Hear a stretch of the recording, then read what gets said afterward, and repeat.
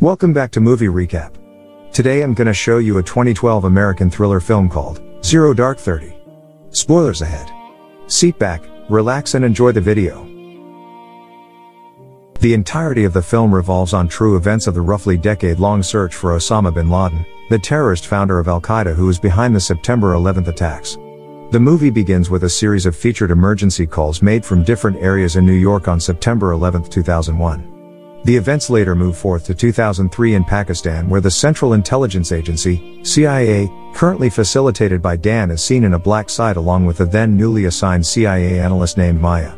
She watches as they proceed with the enhanced interrogation techniques on their prisoner Ammar, who is a supposed terrorist financier with links to the Saudi group. Dan makes it clear that if Ammar lies, he will hurt him. They continue to question him in hopes of tracking Saudi group's future activities. Ammar, on the other hand, refrains from talking, and ends up being tortured in the black site. Later, Maya is seen arriving in the United States Embassy in Pakistan to take her post on her first field assignment. She becomes the newest member of the CIA analyst team for eliminating bin Laden and neutralizing Al Qaeda. The group discuss their findings over the last 24 hours, but to no avail. The next day, Dan and Maya come back to interrogate Ammar in the black site. Dan gives him food to which Ammar quickly devours while Maya watches from the sidelines. Dan pressures him for more information on the Saudi group, but Ammar remains to claim having no knowledge of the group. Dan strips off Ammar's pants in the presence of Maya, and leaves the two of them alone for a while. Ammar begs Maya to help him, but instead she urges him to be truthful. Shortly after, Dan returns with a dog collar and treats Ammar like a dog while pushing him to walk. He further pressures Ammar to tell them the day of the Saudi group's next attack. Ammar persists, and only tells Dan random days. This makes them confine Ammar inside a tight box with no ventilation. The movie skips ahead to the events of May 29, 2004 in Khobar, Saudi Arabia now known as the Khobar massacre where another terrorist attack takes place. A few armed men kill a number non-Muslims and Americans. Dan, Maya, and Jessica watch the aftermath from the news. Amidst their failure, the team bluffs Ammar into believing he had short-term memory loss, and that he had shared some information. Slightly changing tactics, Maya and Dan bring him out of confinement and offer him more food while interrogating him in a more conversational manner. They wring out information from Ammar as he reveals the names Hamza Rabia, Khabab al-Masri, and Abu Ahmed, who were with him after the 9-11 attacks. He also reveals that his uncle worked for bin Laden once, and that Ammar had seen bin Laden in Karachi a year before. He claims that bin Laden read them a letter from the sheikh saying to continue the jihad, and that the work will go on for a hundred years. Back at her workplace, Maya reviews old interrogation footages through the computer monitor to gain more information on Abu Ahmed. Apparently, bin Laden carries out messages to his followers through a network of messengers. She shares a brief conversation with Jessica while taking a short break. Jessica tells her that everyone wants money to which Maya retorts because Al-Qaeda members are radical enough to not be heavily motivated by financial rewards. Maya later heads to a CIA black site in Poland due to a lead on Abu Ahmed. She conceals her red hair with a dark-colored wig, and talks to a prisoner through an interpreter, and fellow agent named Hakim. The prisoner tells them that he had contact with a man named Abu Faraj who also carries messages to, and from bin Laden. The prisoner also confirms the supposed system by bin Laden of carrying messages where Abu Ahmed takes the role of the computer guy, but has limited knowledge of him. Maya reports back to their CIA station chief Joseph Bradley with this information. As much as she impresses Dan and her team, Bradley comments on the ineffectiveness of her hunt for Abu Ahmed due to the lack of leads like his real name or location. Maya sharply replies that the fact that everyone has heard of Abu Ahmed implies that he is someone important. Bradley still commends her good work, and tells Maya to let him know when she gets some actionable intelligence which can lead to a strike. In London on July 7, 2005, a double-decker bus explodes. This becomes the newest addition to the terrorist attacks of Al-Qaeda. News footage of this London bombing flashes on the screens of Bradley and Maya. The team keeps the pressure on, and scatters around to gather more intel. At another CIA black site in Bagram Air Force Base in Afghanistan, Dan interacts with a monkey, and feeds him his ice cream while waiting for a detainee. Maya is accompanied in an icy detention center in Pakistan to interrogate another detainee. Throughout her interrogation, the detainee cooperates with Maya regarding his knowledge of Al-Qaeda and his position as the key financier in the organization. She learns that Abu Ahmed works for both Faraj and bin Laden, and that he was a trusted courier but cannot be found because he has disappeared. Meanwhile, Dan pursues Faraj. He coordinates with the Pakistan police as they lure Faraj through a messenger who is about to meet with him. They strap an object around the messenger's leg and observe him on his way to meet Faraj. At the same time, soldiers dressed in all black prepare for an ambush, and they succeed in cornering him. Bradley then informs Maya that she has a one-on-one interrogation with Faraj, and leaves her with paperwork to accomplish. Dan escorts Faraj to a stuffy cell that is surrounded by barbed wires. After leaving Faraj starving 18 hours prior, Dan shoves blended food down his throat with the use of a funnel. Faraj completely denies knowing Abu Ahmed making it difficult for Maya during their one-on-one. She asks Dan if he wants to take a run at him but Dan refuses, telling her that he wants to do something normal. He offers her to get out of there and come back to Washington with him to which Maya declines. She intends to continue her pursuit on Abu Ahmed and kill bin Laden. Dan advises her to be more careful with the detainees at this point because politics are changing, and that she should keep an eye out especially now in Pakistan where everyone knows her. The search goes on as the film moves forth to September 20, 2008. Jessica is waiting for Maya inside a restaurant in Marriott Hotel in Pakistan. Jessica waves at Maya as soon as she arrives where she apologizes for being delayed by the checkpoints. Maya, seemingly busy with her phone is reminded by Jessica that they are socializing. Maya then rids of her phone for the meantime, and drinks wine with her. Jessica expresses her worry on Maya's continuous pursuit on Abu Ahmed, fearing that Maya's lead won't compare to the effort she exerts. Maya, on the contrary, acknowledges her progress. She clarifies that the fact that Faraj denies Abu Ahmed reveals his importance. Just then, a bomb goes off in front of the Marriott Hotel, and heavily impacts the interior of the place. Jessica and Maya, lands on the floor after being pushed off their seats by the impact. They quickly rush towards the exit on the kitchen, coming across a number of injured and killed staff and diners, where they safely escape. News reveals that a truck driver carrying bombs detonated more than 2,000 pounds of explosives after being stopped at a checkpoint. A meeting of bin Laden's inner circle commences on the tribal territories in Pakistan. Much to the CIA's luck, a Jordanian doctor who is a part of the inner circle named Humam Khalil al-Balawi supposedly records this meeting. Jessica enthusiastically shows Maya the video footage, and consults Bradley. Bradley does not buy it knowing how nobody turns on Al-Qaeda. Maya acknowledges that it could or could not be a lie, but continues to point out that the key is to meet the Jordanian doctor, and figure out for themselves. She, together with Jessica managed to gain Bradley's approval to the meetup. Later that night, however, Jessica informs the team that the meeting with Balawi is called off since he cannot come to Islamabad or any place else outside Al-Qaeda territory. An interview of Obama plays out in the background regarding the moral standing of America in the middle of their conversation. Balawi instead offers them to come with him to meet in Miranshah with the tribals to which Maya strongly disapproves, seemingly aware of the dangers.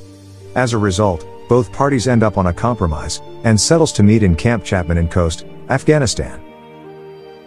Jessica is thrilled to meet the Jordanian doctor, who she considers as her first big break since the 9-11 attacks. She toasts with her fellow CIA agent John, and expresses with conviction how she thinks that money is indeed persuasive. She pushes through with the thought that the $25 million offer could potentially lead Balawi into giving up bin Laden, and that if he doesn't then they'll kill him. It is now December 30, 2009. Jessica along with other interrogators wait for Balawi to arrive out in their base. Jessica smokes to calm her nerves as she gives out instructions to John and the rest of their team. Just when they figured Balawi will no longer come, a car is seen driving towards the base, and is stopped at a checkpoint. As per their prior agreement, Jessica gives permission to the car to proceed inside the base without being searched. The car gets inside the base, and an old man alights with his hands on his pockets. They fail to search the man in the vehicle. The man in turn mumbles Allahu Akbar, and before they know it, a bomb detonates which kills Jessica and John, along with the rest of the guards and agents in the vicinity. Upon hearing the news, Maya is shattered and lost in thought. To make matters worse, a colleague brings her the news that her lead, Abu Ahmed, has been confirmed dead by one of the detainees who claims to have buried Abu Ahmed himself in Kabul on 2001. Maya is on the verge of a breakdown when Jack appears and offers her company. He asks her what she is going to do now to which Maya replies, with a newfound motivation, that she will smoke everybody involved in the operation and kill bin Laden. After being called out by their senior CIA official George for their terrible success rate during their meeting, one of Maya's co-workers named Debbie gives her a file on Ibrahim Saeed, who has his big family involved in terrorist activities. Debbie suggests that Ibrahim Saeed could be Abu Ahmed's real name, and is just left unnoticed due to all the white noise after the 9-11 errors. Maya goes over the files on Abu Ahmed once again and comes to a realization that Abu Ahmed is possibly alive, and that the facial features associated with the supposedly dead Abu Ahmed was actually any one of his brothers. She immediately calls Dan, and requests for him to get her the Saeed family's phone number. Dan grants Maya's request, and talks to the Wolf, a shadowy high-ranking official of the US government. He requests for him to provide a sum of money for Maya's lead to materialize. Dan also advocates Maya's capabilities in the field. The wolf contemplates, saying that there is a lot of inspection going on, but then he approves on supporting financially after Dan makes a deal that he will run some operations under question, and defend their methods of interrogation to the Oversight Committee in return. Dan then heads over in Kuwait to ask for the phone number of the Saeed brother's mother through one of his contacts, and gives him a Lamborghini in exchange. Following through, Maya meets with Larry and soon, he and Hakim start tracking the identity of the Saeed brother who is most likely Abu Ahmed. Around the same time, an attempted car bombing happened in NYC leaving Bradley on edge. Nonetheless, Maya is determined to find Abu Ahmed and kill bin Laden, leading to her argument with Bradley. Bradley still thinks that her lead is pointless, and that he is more concerned with the upcoming attacks to which Maya strongly refutes. She makes him choose between giving her a team or sending her back to DC, and face a hearing before the Congress for dismissing the team's efforts on killing bin Laden. Bradley is urged to choose the former, and send four techs each in the safe houses in Rawalpindi and Peshawar. Maya begins to lead the team consisting of Larry, Hakim, Jack, and a few more agents with the consent of Bradley as they trace their target through a clone phone provided by Jack. The following events show Bradley getting involved in a lawsuit done by the Intelligence Agency of Pakistan. Pakistani protesters crowd in front of the CIA facility.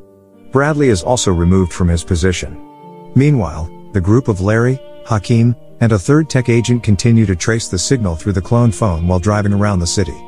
After much conflict, they manage to ID the owner of the cell phone, and take a picture of him in his vehicle. They tail their target's vehicle for a while which leads them to a compound. On another note, as much as they close in on Abu Ahmed and bin Laden's location, the armed terrorists counterattack. Two armed men open fires Maya's vehicle on her way to work. Fortunately, the bulletproof windshields protect her, and she avoids any injury. The newly appointed station chief reminds her that she is now on the terrorists list. Still, this does not stop her from finishing her assignment. She figures that bin Laden and Abu Ahmed are both staying on the compound that Larry and Hakim discovered.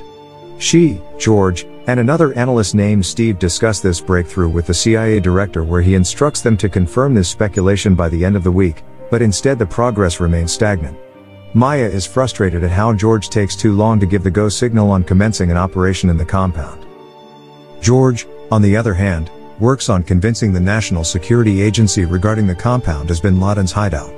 He tells them there are various ineffective attempts into finding DNA of the people in the compound.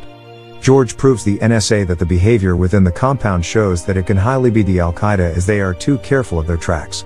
This lead takes a hundred days before movement finally takes place. George, Maya, and Dan meet with a SEAL team in Area 51, and Maya briefs them about their findings on bin Laden. 29 days after, the CIA analysts together with the CIA director settle their stand on Maya's lead. While having her lunch, the CIA director commends Maya for her skill. On May 11, 2011, the CIA and the Navy SEAL gather in an operating base in Afghanistan for their final preparations. George calls Maya signaling that the operation takes place that night. The team consisting of Hakim and the SEALs spread out in three helicopters and surround the compound. The SEALs point guns and kills anyone with a gun. Hakim leads on neutralizing and gathering the locals in a corner through a megaphone.